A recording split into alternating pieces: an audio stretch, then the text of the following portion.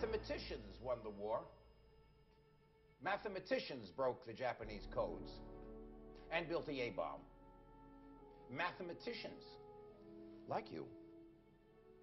The stated goal of the Soviets is global communism.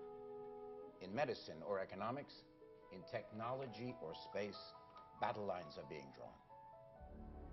To triumph, we need results. Publishable, applicable results. Now, who among you will be the next Morse? The next Einstein? Who among you will be the vanguard of democracy, freedom, and discovery? Today, we bequeath America's future into your able hands. Welcome to Princeton, gentlemen.